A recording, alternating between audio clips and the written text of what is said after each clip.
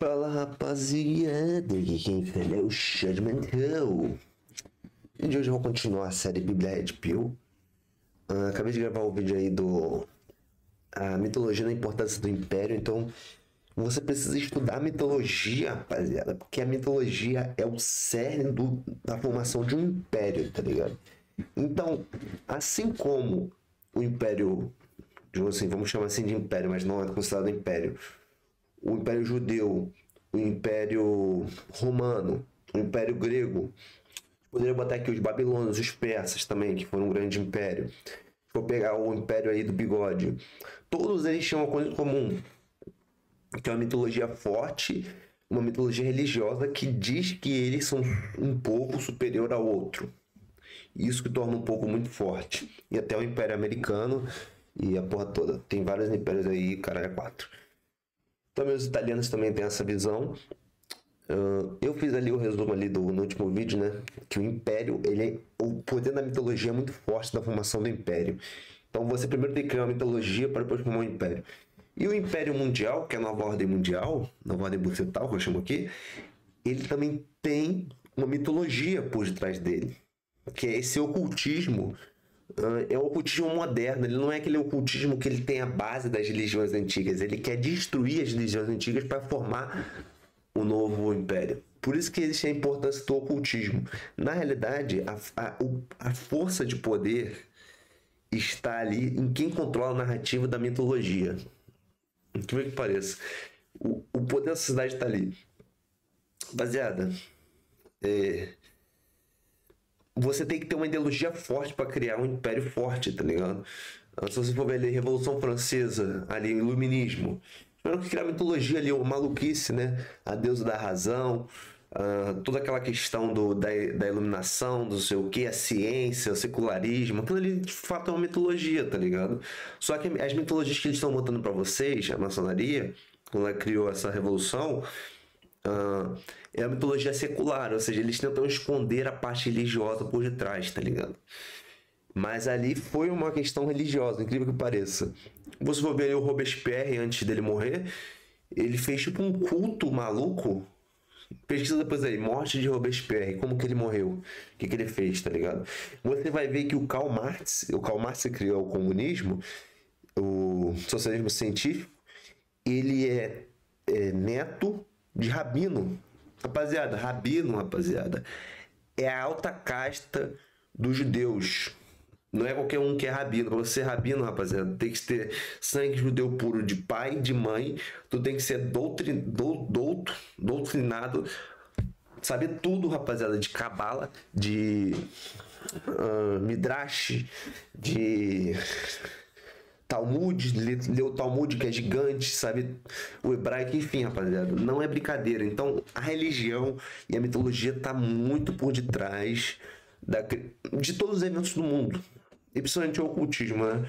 Porque a religião, assim como diz Albert Pike, um grande maçom, um dos grandes ocultistas, ele diz que a religião é meio que a parte do culto, uh, do, digamos assim, da mitologia que ela é aberta ao grande público. Então, digamos assim, quando eles criam a, a, a religião, ela tem um significado esotérico e um significado exotérico. Ou seja, existe um significado de fora para quem está fora e quem está dentro. É a mesma questão do Templo de Salomão. O Templo de Salomão ele tinha três pátios, né? Três salas. O átrio, o lugar santo o lugar santíssimo. Então, tem essa, essa, essa, escada, tá ligado? Então, por exemplo, você que é o gadolítico, que tá ali seguindo a mitologia, a religião, a porcaria que eles jogaram para vocês serem escravos deles, você vai ter uma visão. Quem tá um pouquinho acima de vocês vai ter uma visão diferente, um pouco mais aproximada da verdade. E quem tá lá dentro, o alta castra, que tem a visão real da situação do que, que significam os, os símbolos, né? Que é a questão da simbologia. Então tem a questão da simbologia, porque hoje em dia eles colocam um montão de mensagem subliminar, um montão de, de símbolo religioso, ocultista nas músicas. Por que, ele tem um significado pro gado é uma coisa e para eles é outra, tá ligado? Então essa coisa moderna, secular, de querer é, ridicularizar a religião e o pensamento secularista, ele não é um pensamento, digamos assim, não mitológico, ele é baseado em mitologia.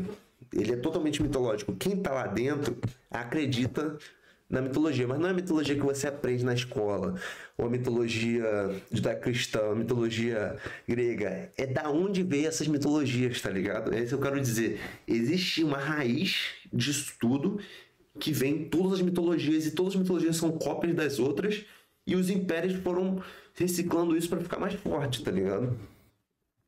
Como, por exemplo, o, o, Império Romano imitou o grego, o grego imitou, vou botar aqui os fenícios, os fenícios imitaram o Babilônio, o Babilônio os sumérios. Depois, antes dos sumérios, a gente não tem escrita, a gente não sabe de onde vem.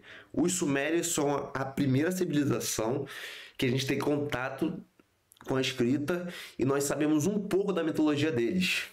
Sabe bem. Mas os sumérios são os mais antigos. E houveram civilizações anteriores dos sumérios. É isso que a classe dominante acredita. Eles sabem do que a gente não sabe. Você tem que ter uma noção. A informação que a gente tem no mundo, ela é, ela é grande quantidade, mas ela é limitada.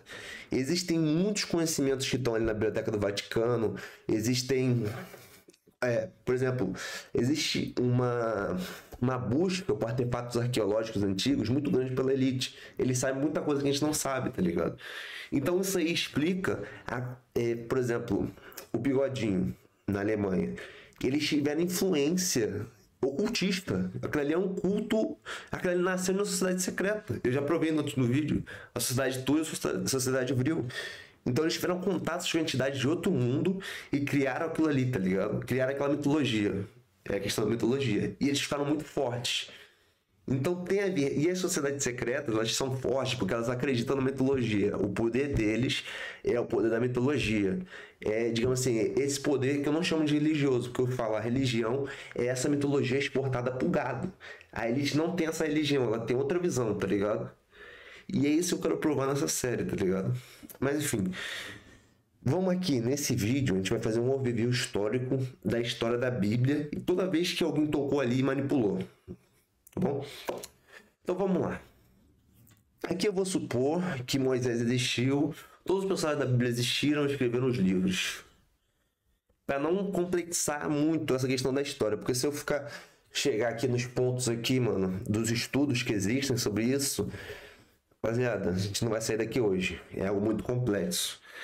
Porém, vamos supor que a Bíblia é aquilo ali que a gente viu e vou contar a história que eles contam. Uma história que básica aqui, tipo assim, qualquer um que, pô, leu ali o a historinha da Bíblia vai ver. Então vamos lá. Como que começou a Bíblia? A primeira versão desse livro, Bíblia, como um compilado de livros, digamos que a, os livros da Bíblia anteriormente eram separados, obviamente. E eles eram rolinhos que você lia na sinagoga, no templo. Uh, vocês sabem que a escrita é algo caro, não é barato você escrever, tá ligado? Então, meio que eram rolinhos que você lia os livros, tá ligado? Só que o que aconteceu? Os, ju os judeus, né? Vamos chamar de judeus, mas eu não gosto de usar esse termo. Porque existiam. Daqui, vou explicar isso aqui pra vocês, né? Judá e Samaria. Só pra vocês terem uma ideia aqui. Judá e Samaria. Só para vocês terem uma ideia do que eu estou falando.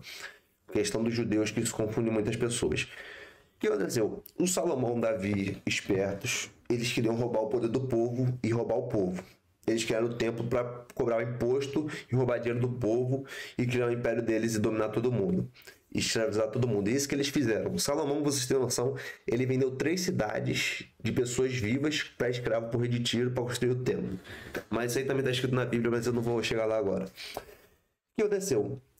Eles centralizaram tanto poder, ele ficou tão centralizado que o povo ele se rebelou contra o, Salomão. Porque o Salomão ele era um filho da puta. Essa era real. Ele roubava o povo ali. Ele, para ele ter aquele luxo todo, era roubo, era espólio. Ele, ele Davi, eram dois monstros, tá ligado? O que, que eles faziam? Eles comiam as menininhas, roubavam o dinheiro do povo e foda-se. E todo mundo tinha que ser escravo deles. Por isso que eles criaram essa religião. Chama.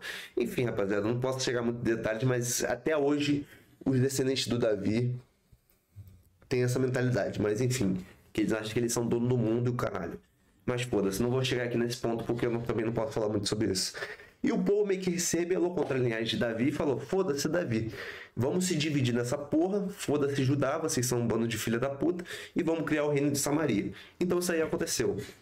Um dos filhos do Davi lá, um merdinha lá, um vacilão, ele perdeu o poder e foi criado o reino de Samaria, uh, que era o norte. Então foi o reino do norte contra o reino do sul. Peraí. Norte.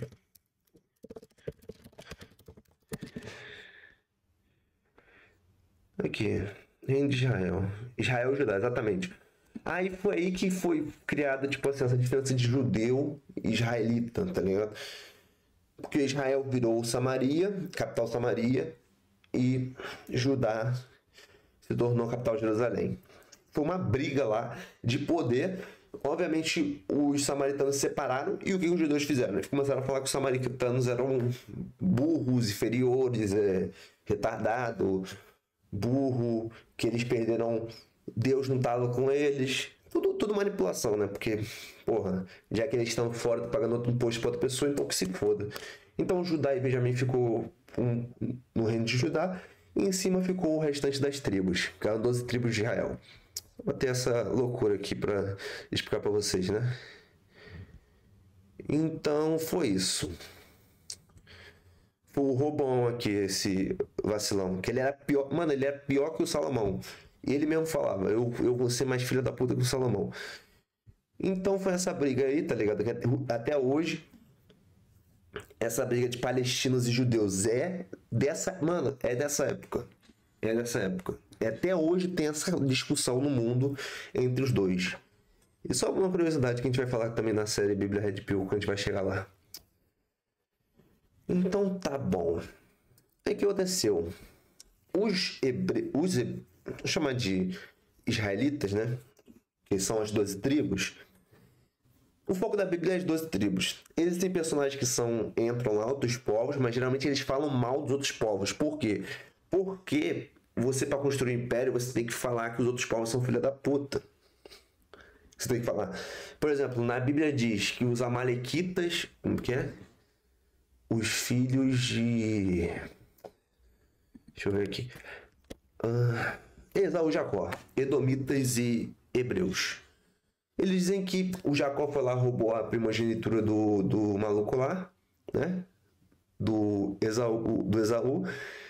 E foda-se. E para os judeus, para os judeus não, hebreus, eles são superiores aos edomitas porque Deus escolheu o Jacó ao invés de Esaú. Não escolheu, mas tipo assim, era para ser do Esaú, porque ele era primogênito, e o Jacó roubou a benção dele. Então, eles são abençoados por Deus porque o Jacó roubou a benção do Esaú. Um exemplo. Tem outro exemplo lá, as filhas de Ló. As filhas de Ló, cadê? Qual foram os povos que foram? Caralho, esqueci, velho. Filhas de Ló, caralho, que droga, velho. Moab, ó. Ai, caralho, que esqueci que se foda, filha da puta. Que raiva, velho. Ai, caralho. Amon, ah, sim. É Moab e Amon. Então, rapaziada, a Bíblia vai ter muitos textos falando mal de Moab e Amon. Moab e Amon são os povos que são, eh, viviam entre, com eles, e eles vão chegar na Bíblia e falar que Amon e Moab foi feito na base de um sexto. Ou seja, Ló, que era sobrinho do Abraão, ele fez sexo com as filhas e deu origem a esses dois povos. Então tem muito isso na Bíblia. A Bíblia, quando quer um povo que é contra os interesses do, do povo hebreu, e depois isso acabou fudendo eles, porque o próprio Davi usou isso contra eles, criou uma, umas coisas contra os os samaritanos. Tem até a, a parábola lá do Novo Testamento, que é o bom samaritano, né? Que é, Jesus conta uma parábola onde o samaritano chega a ser bom. Que isso era inconcebível pro judeu, porque o samaritano é tipo lixo, tá ligado? Pra eles. É tipo um bando de bárbaro idiota. Enfim, então tem muito isso na Bíblia. O, o, o hebreu, ele vai falar que o outro povo é filho da puta e ele é bonzinho. Porque é um livro de manipulação, cara. É um livro para você acreditar que aquele povo é foda.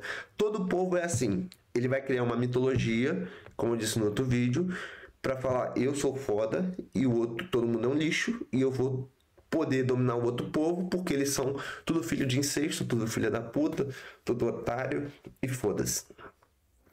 É aí que começa a parada, né?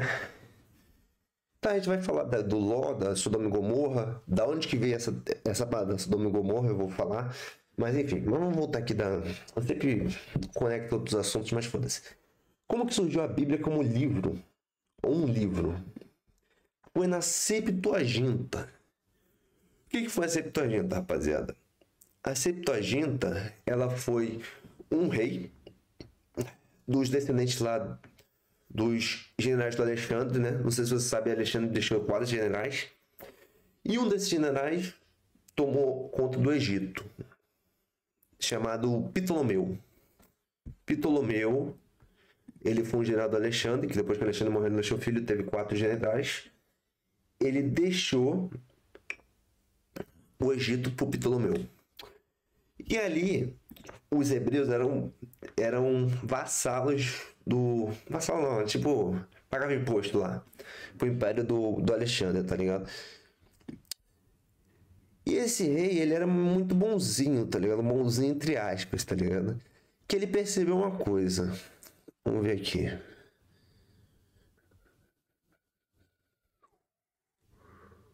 Cadê filha de puto? Foda-se. Ele percebeu uma coisa, ele viu que os, os hebreus eles tinham uma língua própria. E foda-se, eles. Mano, quem era grego achava que outras línguas era coisa de retardado mental. Não existe outra língua, é grego. Todo mundo tem que falar grego nessa porra. Então ele pegou assim e falou assim: meu irmão, é seguinte, vocês vão escrever aqui. A gente quer fazer uma coletânea aqui de textos sagrados de várias religiões, de vários povos. Mas vocês vão escrever esse livro em grego. Dane-se. Aí ele foi lá, juntou 70 sábios, né? 70 pessoas. Mais ou menos essa história, né? E criou a Septuaginta. Então a Septuaginta já foi a primeira manipulação. Por quê? Porque os textos originais são escritos em hebraico aramaico.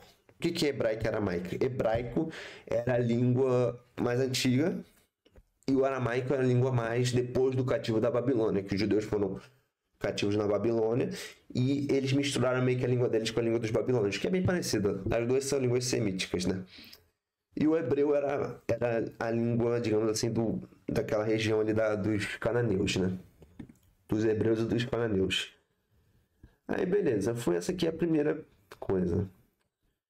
Que essa aqui, digamos assim, é a versão original, tá ligado? Que, digamos, é, é a versão mais antiga que a gente tem da Bíblia. É chamado a Septuaginta. E é só o Antigo Testamento, tá ligado? Ai, ai. Foda-se a Septuaginta, já acabou. Depois a gente teve a Vulgata, a Vulgata Latina. A Vulgata foi mais ou menos assim. Mesma questão. Nós somos um império, nós somos romanos, nós temos uma língua chamada latim, e, mano, foda-se. A gente tem que fazer a Bíblia em latim, tá ligado? Se a gente quer levar essa parada a sério. Então, o Jerônimo, que foi o cara que escreveu, ele criou a Bíblia Vulgata Latina, a mano de Constantino. Ele escreveu a Bíblia uh, com vários livros, eu não vou entrar aqui no ponto, é, em latim, tá ligado? Então, foi basicamente isso. Então, já teve uma. Mano, tem um telefone sem fio. Você tem que entender uma coisa. Quando a gente escreve livros em outras línguas, a gente tem perda de informação. Então, já teve uma perda de informação do hebraico pro grego. E do grego pro latim, obviamente vão ter problemas, tá ligado? Então, essa é a história da Bíblia. A segunda versão da Bíblia foi essa vulgata latina, tá ligado? Blá, blá, blá, blá. E essa aqui já é a versão cristã, tá ligado? Então essa aqui já é Antigo e Novo Testamento. Agora vamos lá continuar essa história aqui. Ah, depois, rapaziada, vocês têm que entender uma coisa. O cristianismo, o judaísmo, vou botar o cristianismo, mas o judaísmo também. Eles têm muitos textos, muitos textos Uh, desde personagens importantes até, por exemplo, no judaísmo existem muitos textos que são textos de rabinos, tá ligado? E todos eles são válidos, porque rabino tem uma hierarquia e o rabino, discussões rabínicas, né, que são importantes para a religião judaica. Assim como o cristianismo. O cristianismo é uma massa de treta. Existiram vários tipos de cristão. Você que lê a Bíblia acha que aquilo ali é o cristianismo padrão, o estandarte? Cara, aquilo ali foram anos, anos de treta, porrada, nego caindo na porrada, nego falando que um outro era mentiroso, um outro cai na porrada com o outro. E pá, isso aí foi indo nos séculos, a igreja católica foi mudando algumas coisas, teve alguns cismas, igreja ortodoxa, igreja católica, igreja protestante, etc. Mas antes disso, existia muitas seitas cristãs, tá ligado? Então existem seitas cristãs que são ocultistas, tem seita cristã que acredita numa coisa, na, por exemplo, existe até seita cristã migtal, pô. Que são os cátaros. Deixa eu pegar aqui. Talvez eu grave um vídeo sobre isso. Cátaros. Catarismo faz parte do gnosticismo. Eles acreditavam que eles não tinham que ter filho porque o mundo é uma merda e existem dois deuses, tá ligado?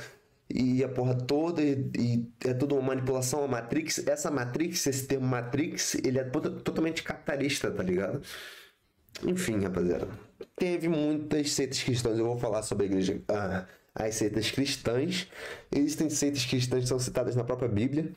Brigas entre apóstolos. Cara, apóstolo Pedro era mais voltado ao judaísmo. Paulo era mais por ser motivos óbvios, né? Não sei se vocês sabem, Paulo não é judeu, entre aspas. Tipo, judeu de nascimento na cidade na Judéia. Ele não nasceu na Judéia, ele nasceu na Turquia e o pai dele era romano. Por isso que ele tinha muito interesse em fazer com que o cristianismo se abrisse aos gentios. E vocês sabem, né? Tanto o cristianismo quanto o judaísmo, né? Tem esses termos chamados gentio. É, gentio em hebraico é chamado goiar, goim, né? Então eles têm uma versão a versão a gentil, eles são mais voltados entre eles. Quem é gentil é geralmente por essa verdade. Uh, é foda falar isso, mas eu vou chegar nesse ponto, tá ligado? Sobre os gentios, né? Os goim. Você duvida do que eu tô falando? Veja o livro A Verdade sobre o Talmud. É um livro polêmico, acho que é proibido esse livro, mas. Talmud, acho que é esse. É visto como antissemita, mas que se foda, mano. Não tô nem aí lê essa porra aí, é um dos livros proibidos aí, e pega lá todos os textos lá do. Do Talmud aí que fala contra os goim. Então tem a, a questão dos gentios, né? se for ler a Bíblia, ela, a Bíblia é totalmente anti-gentil, anti quem não é daquele povo ali escolhido por Deus, que é tipo lixo. Uh, também o samaritano também é lixo. É tudo manipulação, cara. É feito por um povo da legitimidade de um povo dominar o outro. Para isso que foi feita a Bíblia. Se você for ler natural, com, com um pouco de mente, sem contar manipulação, você vai entender isso. Foda-se. E os cristãos também criaram a versão deles do, do Goim, que é o pagão, né? Pagão, pagão, paganismo é um lixo, não sei o que, não sei o que lá. Mano, mas o paganismo, a Bíblia é um livro. Tipo assim, se você for usar a questão do pagão, né? Pagão, que é a questão do digamos assim, não monoteísta, blá, blá. Ali, a Bíblia é um livro pagão, porque eles têm vários deuses lá, tá ligado?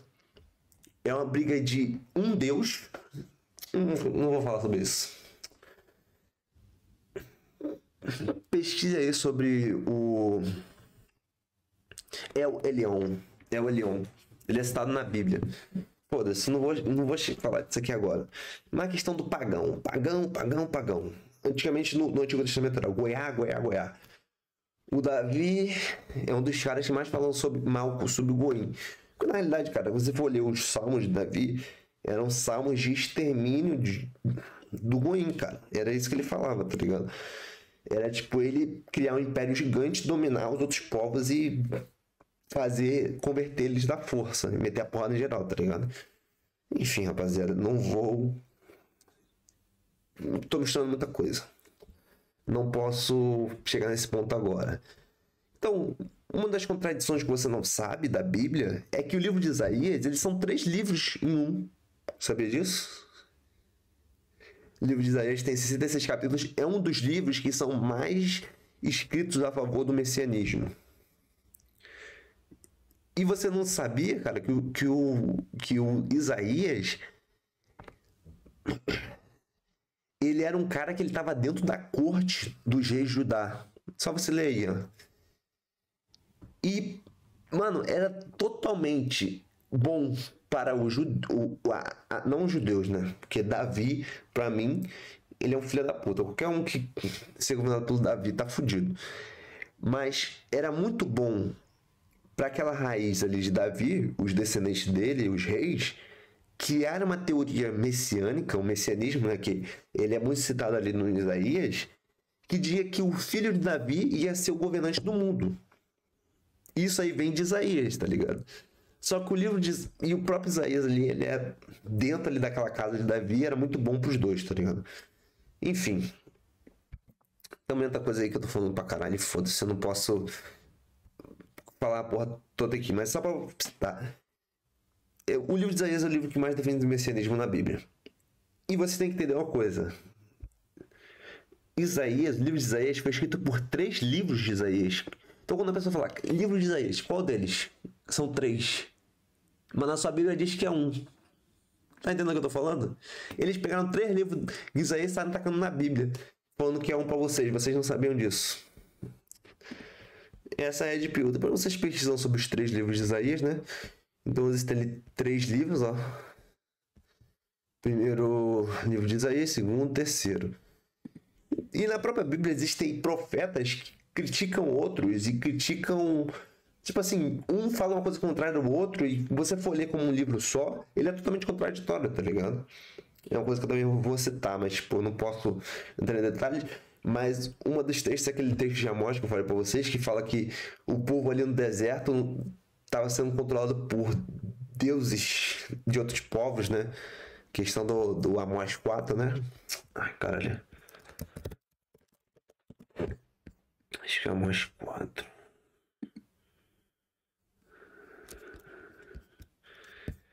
Ai, peraí.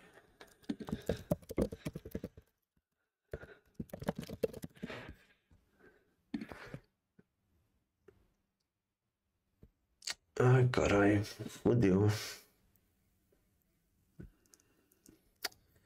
Que se foda, foda-se.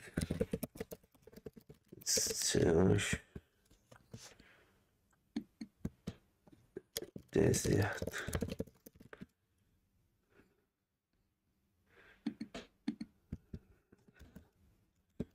Caralho, velho, que bosta. Eu vi falei dessa parada, velho. Que o Estevão ele cita esse texto. Foi um texto que fez os judeus matarem o Estevão. Quando o Estevão mandou esse texto, os judeus ficaram em choque, porque é um texto que um profeta da Bíblia critica o Moisés, tá ligado? É um bagulho tipo contraditório, que, mano, um bagulho que passa muito batido, tá ligado? E as pessoas, esse aqui é o texto do Esse aqui é o texto do discurso de Estevão, né? Você sabe, o Estevão foi um. Ele foi um apóstolo cristão, né? O primeiro. Não apóstolo, não, tipo. Primeiro mártir, né? E ele foi discursar numa sinagoga, ele começou a falar lá do cristianismo contra a religião judaica, né? Entre aspas. Falando que aqueles caras lá, os sacerdotes são de safado, não sei o quê. E ele cita essa parada, do Amós 5,25, né? Que ele cita que está escrito na própria Bíblia dos Hebreus que o, o povo ali no, na época de Moisés estava oferecendo sacrifício por anos, por 40 anos, a outros deuses, tá ligado? Sendo que foi o próprio Moisés que mandou o povo sacrificar, tá ligado? Então essa aí, para mim, é a maior contradição, uma das maiores, né? Não a maior é a maior contradição da Bíblia, tá ligado? Vou pegar aqui. É foda, velho. Fazer as coisas ao vivo aqui. Ó, ele fala aqui que. que que o povo tava fazendo sacrifício a Moloch, né? Que é um deus lá do Cananeu. Que matava as criancinhas, etc. Mas enfim. Então o povo ali tava ele fala que o povo tava servindo o exército dos céus, ou seja, o exército dos céus são os Anunnakis, tá ligado? Então, para mim, essa é uma das paradas mais brutal, mais foda-se. Então, rapaziada, continuando aqui na Bíblia Red Pill, a gente tem a Patrística, que eu também vou fazer uma série depois da Bíblia Red Pill, talvez, sobre a Patrística. Uh, muitas pessoas não sabem porra nenhuma de patrística, por isso que eles são manipulados, tá ligado? Eles acreditam que o cristianismo que a gente conhece hoje é o cristianismo antigo, sendo que é mentira, aquilo ali foram discussões que foram anos e anos, séculos e séculos de nego brigando, caindo na porrada, caindo na porrada, blá, blá, blá, blá, tiro, porrada e bomba. E foi criado esse cristianismo, ele foi meio que vomitado, tá ligado? Então foi um matando o outro, um prendendo o outro, etc. Império Romano, Igreja Católica, foi perseguindo os outros cristãos e destruindo todo mundo e ficaram só eles, tá ligado? Então são os hereges. Então, você estudar a patrística, você vai entender que muito dos, dos, ensinamentos que a gente aprende hoje do cristianismo, ele foi fabricado, ele não existia no começo. Essa é a verdade. Isso aí, cara, é um estudo muito pesado, tá ligado? Mas. Uh, você estudar bem mesmo, você vai entender que a Bíblia, os, os evangelhos não foram escritos pelos discípulos. Eles foram escritos pelos pais da igreja. E você percebe que existem muitos ali elementos de filosofia grega ali, ó, que não é judeu, cara. Judaísmo e filosofia grega não é a mesma coisa. O que acontece é o seguinte: existia os judeus helenísticos, certo? Paulo é judeu helenístico. Porém, a quantidade de mitologia grega ali é muito grande, como por exemplo, a questão da imortalidade da alma. Cara, o judeu não acredita em imortalidade da alma. Não existe isso no judaísmo. Por isso que os rabinos, eles leem a Bíblia, o Novo Testamento, e acham graça. Porque, mano, eles sabem que ele foi uma manipulação da Igreja Católica. Mas eu também vou chegar lá, tá ligado?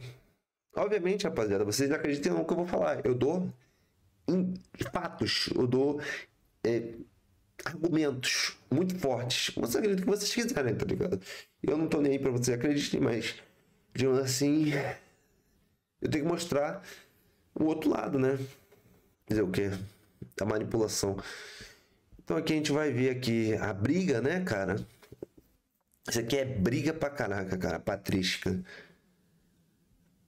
Ah, então a patrística, na realidade, é aquela fusão do, do, do judaísmo para a criação do cristianismo. O cristianismo é o quê? Você pega o judaísmo, amassa ele, joga muita filosofia grega lá e transforma no cristianismo. O cristianismo, na realidade, é filosofia grega ali. Filosofia grega. E, e, e porque os romanos são, cara, você tem que entender uma coisa: os romanos, eles são orgulhosos. Eles nunca iam deixar uma cultura como os judeus, aquela cultura deles lá de sacrificar animal, comer aquelas liturgias, entrar na, na cultura deles. Eles não vão fazer isso. Se for para eles criar uma religião, eles vão manipular aquilo ali para virar o, o paganismo deles, tá ligado? Enfim. E o cristianismo é isso, rapaziada. Você acredita ou não, mas dane-se. E a gente pode entrar aqui no final desse vídeo. Os, os concílios. Então, você estudar os concílios da igreja, né? Vê que o cristianismo é fabricado ele não é o que, tipo assim, alguém escreveu e o nego segue certinho. Meio que aquilo ali foi aos poucos. Peraí. Os escritos da Bíblia mais antigos são as cartas, as cartas de Paulo, tá ligado? Não são os evangelhos. Você for, for, for estudar, você vai ver que os escritos que você tem é, certeza que foram escritos no primeiro século são as cartas de Paulo. Os outros você não tem certeza. E provavelmente não foram escritos, foram escritos por outras pessoas. Então você vai ver aqui os concílios aqui, eu não vou chegar aqui, mas naquela a criação, a Trindade, sabe a Trindade, Pai, Filho e Espírito Santo que você aprendeu? Isso aí foi criado, cara. Num dos concílios, tá ligado? Então várias credos que vocês acreditam que foi, ah, Jesus falou, os apóstolos falaram, não, foi tudo uma criação depois. Por causa dos concílios, etc, política, é tudo sujo, tá ligado? Então teve sete conselhos. Você dá uma lidinha aqui, você vai entender no que foi mudando, tá ligado? E uma das brigas, tá ligado, do, do cristianismo, né? É o cristianismo, ele é meio que inimigo, que que pareça.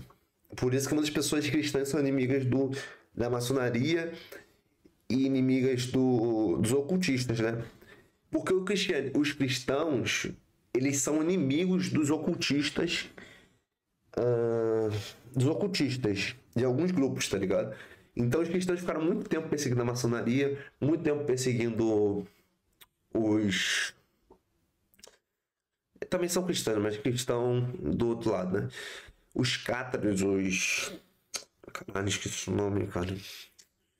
Marci... Marcião, o cara que seguia Marcião, esqueci o nome, cara. Marcião de Pona.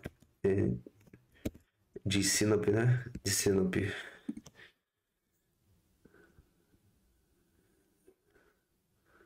Foi excomungado, blá blá. Gnosticismo, né? O cristianismo que a gente conhece hoje ele é muito mil do gnosticismo. Porém, essas influências, é, digamos assim, gnósticas, que são chamadas é, influências herméticas, né? Do hermetismo, ele se infiltrou no cristianismo de novo. Então, o cristianismo, digamos assim, o cristianismo protestante americano, ele é muito influenciado pela maçonaria. A maçonaria se infiltrou. Como o cristianismo católico ele é meio que inimigo da maçonaria, isso é um fato. Os católicos são inimigos da maçonaria, eles são tipo um grupo que saíram da igreja católica e criaram o criado deles lá a porra toda, com base de estudos que eles ficaram muito tempo ali no Oriente Médio, estudaram as paradas que Salomão fazia e percebeu que vamos criar maçonaria de novo, vamos criar aquela porra lá que o Salomão criou, que a maçonaria foi criada por Salomão, foi destruída, entre aspas, e depois Jacques de Molay trouxe ela de volta. É meio que uma heresia dentro da igreja católica, dos cavaleiros templários. Muita, muitos buscam por tesouros arqueológicos, tá ligado? a Arca da Aliança, eles queriam procurar o templo, e eles pegaram muitos escritos, talvez aprendendo muita coisa ali de ocultismo, com Salomão, que Salomão era um grande ocultista, e criaram a maçonaria novamente. E os protestantes americanos são da linha da maçonaria, tá ligado? Porque também a Inglaterra também é muito. A maçonaria é muito forte lá também, então, de um lado de outro, foda-se. Então meio que o ocultismo ele tá dentro do cristianismo também, rapaziada porque não a igreja católica seria uma versão, uh, digamos assim, eu não gosto dessa palavra, mas tipo, uh, adaptar o, o judaísmo à cultura greco-romana.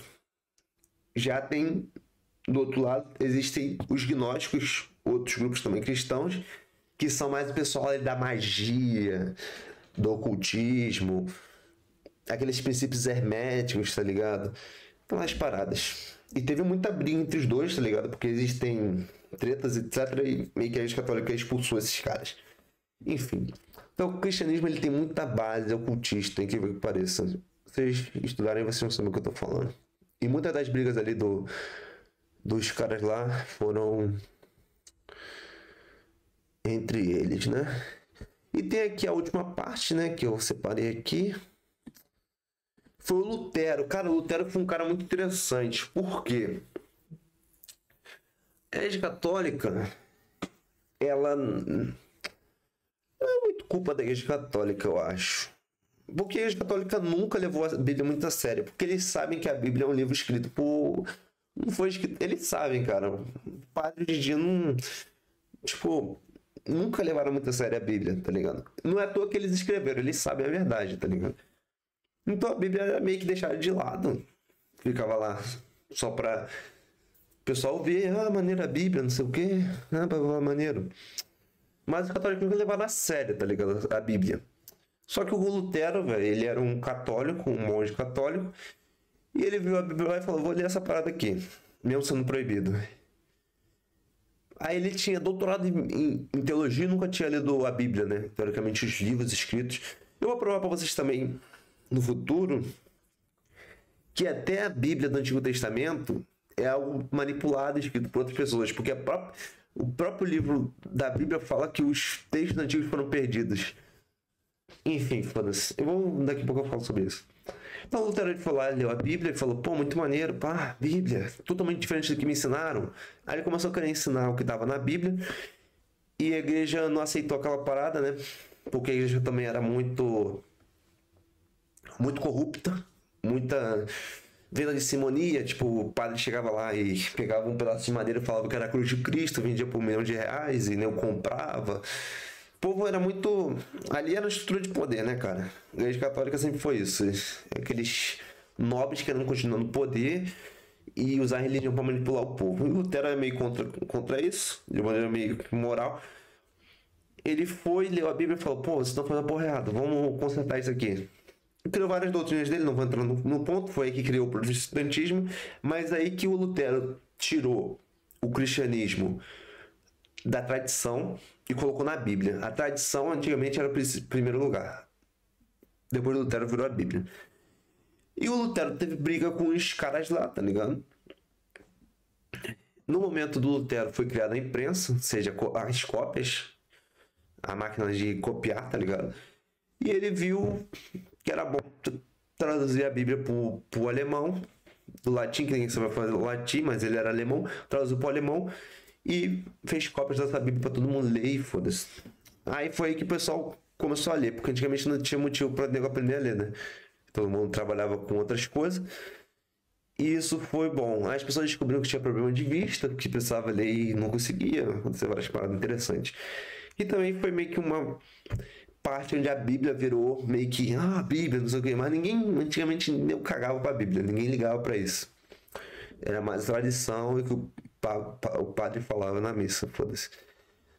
Aí tá, Lutero, e depois deu origem ao protestantismo, etc. E deu origem a vários problemas aí que surgiram depois, tá ligado?